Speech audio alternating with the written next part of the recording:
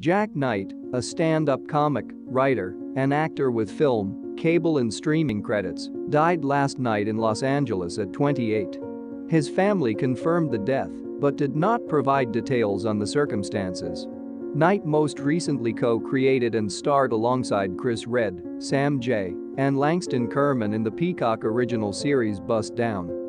A co-executive producer on Pause with Sam Jay for HBO, Knight had recently wrapped filming Chelsea Peretti's feature directorial debut, first-time female director. Knight played Devon on the hit animated Netflix series Big Mouth and was previously a writer on the show for five seasons. Knight had toured as a comedian around the world, and his half-hour Netflix special aired in 2018 as part of the comedy lineup series.